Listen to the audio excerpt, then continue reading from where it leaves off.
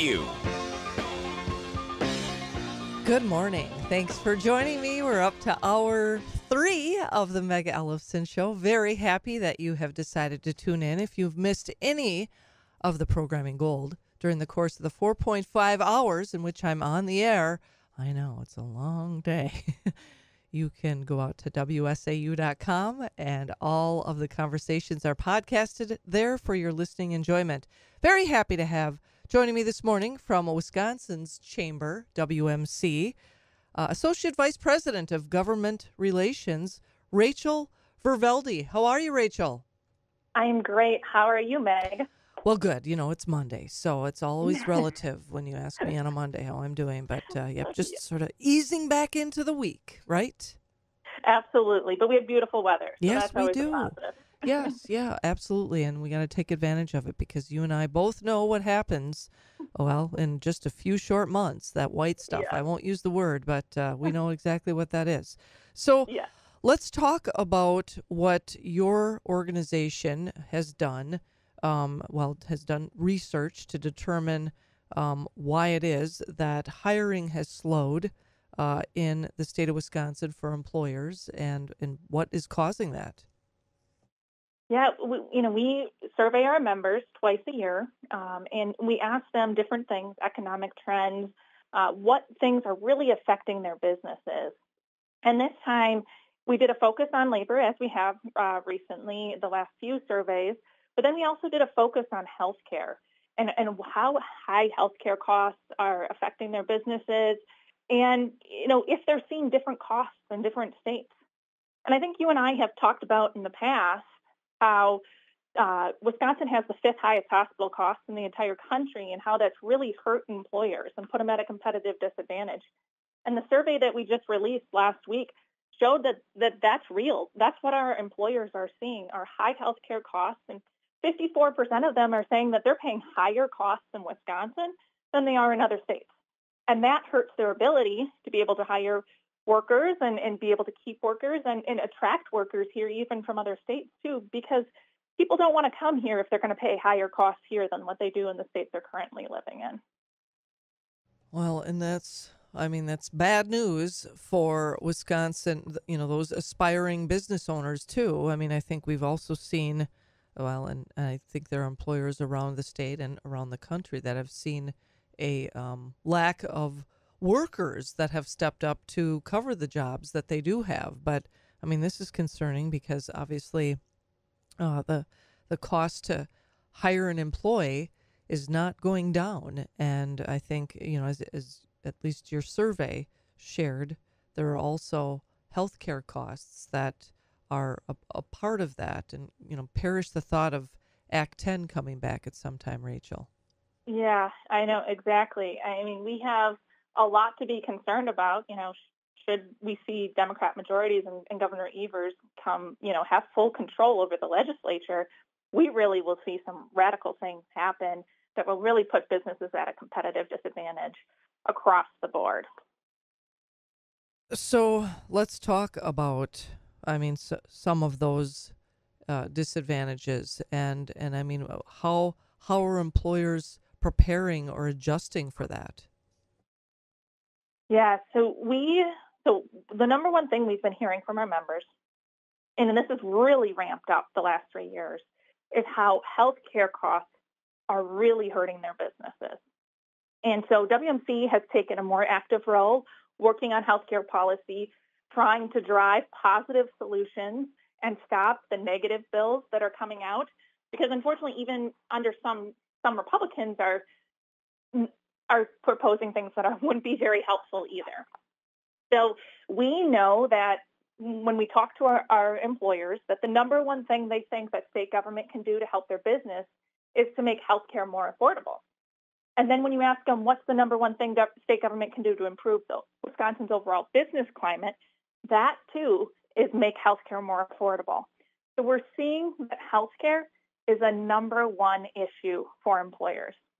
And that's both just regular healthcare that you provide to your employees, you know, health insurance, whether you're self-insured or not, um, it and also workers' compensation and those healthcare costs under workers' compensation.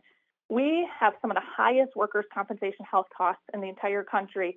It varies, but we're usually the highest or the second highest uh, based off of which study you look at.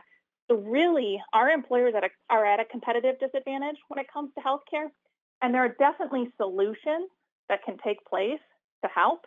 And one of those number one solutions that employers really support is making healthcare prices transparent. And that is one thing that our members are pushing for us to do at the state level. There are federal leg- regulations that say that hospitals have to post their prices and that insurers have to make their prices uh, public for people to see in order for consumers to shop around and, and be informed consumers and be able to pick what healthcare is the best fit for them. But unfortunately, many hospitals are not complying with that regulation. So we want to put it at the state level here where we can have a hand in making sure that these hospitals are complying so in, the consumers can really shop around in Wisconsin. Speaking of that, you know, I've and, and maybe you can educate maybe all my listeners are, you know, more up on this than I am, but maybe you can just educate me on why is it or why why has it always been that your health insurance is linked to your employer? Why isn't that something where we can shop just as we do any other insurance product and be able to compare and contrast the you know whatever the the coverage is included and and frankly you know as you talk about price transparency I, I think it's shocking how you can get a cash price or a cash quote for certain providers here in Wisconsin. I'm familiar with it personally versus if you go through your insurance, the significant uh, cost difference between a cash price where you're self paying versus having uh, your health insurance provider cover you. Yeah, and that's you know that's a great point that sometimes these providers though aren't even providing that cash price to people, and really we want people to have that ability to pick what is best for them. Is it best to go with their insurance? Is it best to go with the cash price? But if they don't have that data available to them, or if you have to jump through hoops to get that data, no one's going to actually do it. So we want this to be more of a free market, more of an ability to shop around. And if people want to travel to find the best quality and the best care at the best price, we should have that available. Now we are we are supportive of keeping an employer health insurance um, system because we do think that that's important for employers to provide that benefit to their employees in order to, you know, it's a way to attract employees to come to you. The better benefits you provide, the more likely someone is, to come, want to come and work for you. So we are hopeful that that stays. We're worried if we move away from an employer health insurance system that more and more people will be pushed onto the government system, which will only drive up costs even more. Ugh, yeah, I don't want to do that either. That's I, I sort of paused when I asked you that question because I mean the alternative.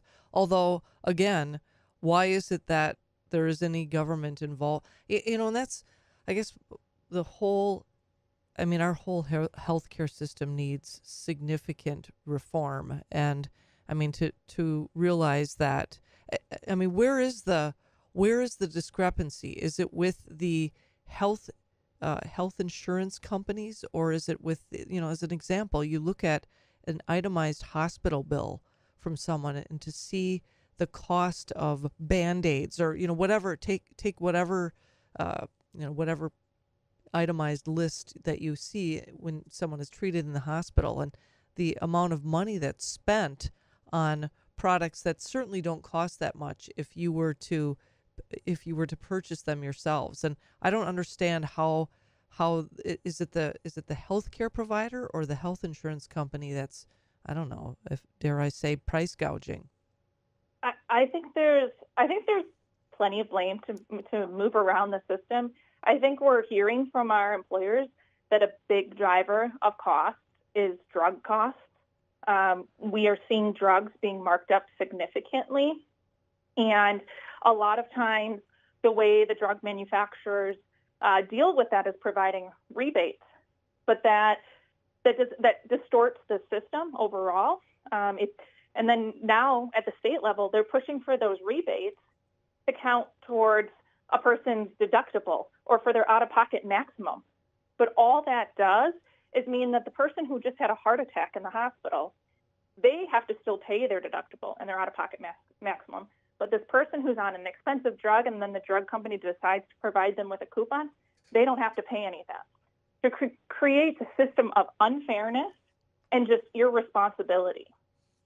Do you see um, this as well? I mean, I think you and I would agree that, of course, this should be uh, bipartisan reform. Do our legislators on the left side of the aisle uh, embrace that we need health care reform in the state, or are they pushing more towards everyone being on an inefficient, ineffective, and unhappy uh, government run uh, program for all citizens? More and more, they're pushing for a single payer, for government run health care. That's what they believe is the solution to the problem, but we know that will only make the problem worse. So many of the problems that we're seeing in healthcare today are because more and more people are being moved on to Medicare and Medicaid, and Medicaid has very low reimbursement rates, which, in order to make up for those low reimbursement rates, hospitals are charging employers and their and their uh, employees more and more and more to make up those shortages. And why should employers and their employees have to make up for government problems? If the hospitals have a problem with their reimbursement rates, they need to go to the government and ask for a renegotiation of those rates. Employers and their employees should not be asked to cover up the mistakes of government. Well, and that seems to me to just be common sense. But again, th- this is uh, this is a survey that you have taken. Your organization WMC has taken uh, with your members. Uh, do you see any? I mean, what's the is there a silver bullet? I mean, is there something positive we can we can take from this, or I mean, what what can we do to ensure that? Oh, no pun intended, but be assured, I guess, that that uh, we'll we'll see changes. I mean, is it does it have to do with a new governor? I mean, I you know, I guess that sort of speaks for itself. But I mean, what what are we? What can we do to ensure changes in this state? Well, I think one thing that we've been talking a lot with our members is that they have to be vocal. They have to talk to their state legislators. They have to talk to the governor. They have to talk to even their federal representatives and say how high, high healthcare costs are affecting them and, in fact, affecting their employees. So, I mean, it's shocking in our survey. I think something that maybe wasn't reported is, is, is some of the other things in our survey we had one in 10 of our members say higher healthcare costs are con- making them consider expanding outside Wisconsin or relocating outside Wisconsin. So one in 10 employers are thinking of leaving our state just over high healthcare costs. We need to make that known to legislators so they realize that this is a serious issue and they have to take action. There are some policies that could really help us make steps forward, positive steps forward, such as healthcare price transparency, such as a medical fee schedule to contain the cost of healthcare under workers' compensation. We know these are real positive solutions that can move the ball down the court. We just need legislators to hear this and, and be willing to take that step with us. Well, so do you see this as as a priority for our Republican legislators in this next session? I think that they're going to be hearing from people more than ever on health care, and I think that they realize they do need to take action. I'm not sure that they know what the right action is, and so that's why I think it's so important for people to talk about it. I think too often they hear these policies, they hear these stories of people who have high health care costs, and their solution is to put more health insurance mandates on people and on employers. And unfortunately, all that does is drive up costs. Health insurance mandates sound good. You can run on them in an election, but they don't actually reduce the cost of health care.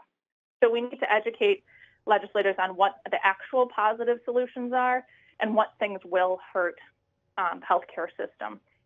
So there's a lot of education to go on, and we're hoping that that Republicans really will take this up and be willing to run with a positive, transparency-focused solution. And we know that there are legislators out there that have focused on this. Um, I know Senator Felzkowski has been a complete champion on transparency, hospital price transparency, and making data available to consumers. And we're looking forward to continuing working with her this session in order to get that across the finish line. You know, I'm often reminded, Rachel, of a meme that used to go around social media quite a bit. It was a picture of uh, former Governor Tom Barrett, and his solution to everything was a trolley will solve it. And, and I think about a mandate will solve it, which never solves the problem. It just further complicates the matter. Well, Rachel, That's thanks for joining me. right. Do you uh, anything else to add regarding your survey? I just encourage folks to come out to WMC.org, look at our healthcare survey, um, see what our employers are saying. I mean, it's some really shocking news. And so please spread the message. This is something that should be a priority next legislative session. Yeah, our electeds need to be made aware of it and make it priority. Well, Rachel, thanks again for joining me. I appreciate it. And again, it's WMC.org. That's correct. All right. Have a great day. Thanks for joining me on this Monday. Thank you. Take care. Going to a quick break, and I will be right back on the Meg Ellefson Show on WSAU.